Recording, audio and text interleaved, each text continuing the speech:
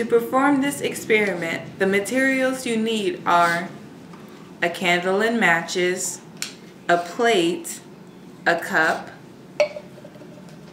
water, and a measuring cup, food coloring, and Play-Doh or anything to hold up the candle. First, you place your candle onto the center of the plate. Unfortunately, our Play-Doh is no longer usable, so we replaced it with aluminum foil.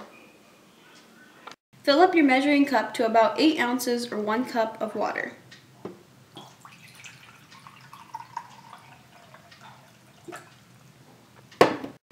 After you've poured the water, add 2 drops of food coloring of choice and then stir.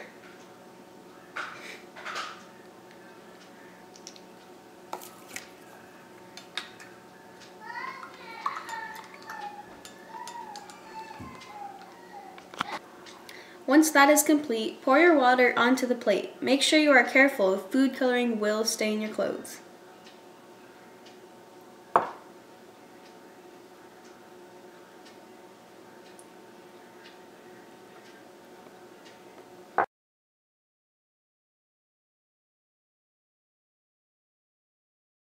Now it's time to light the candle. As soon as the candle is lit, place the cup over the candle.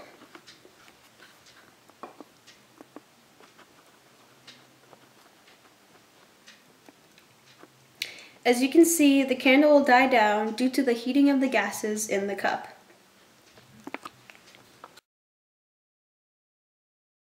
As you can see, the water rises up.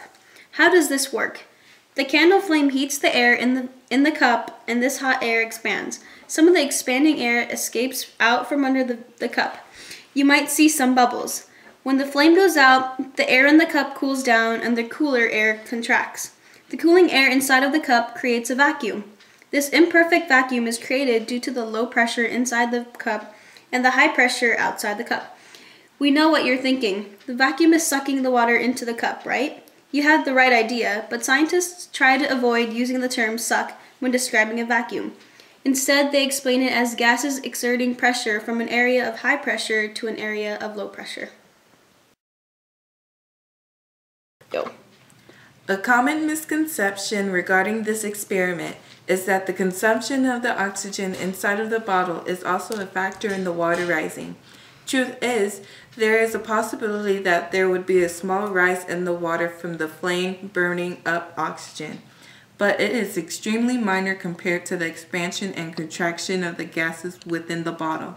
Simply put, the water would rise at a steady rate if the oxygen being consumed were the main contributing factor, rather than experiencing the rapid rise when the flame is extinguished. Now it's your turn to try. Ba-dum-ba-dum, a duck walked up to a lemonade stand and he said to the man, run in the stand, Hey, bump, bump, bump, got any grapes?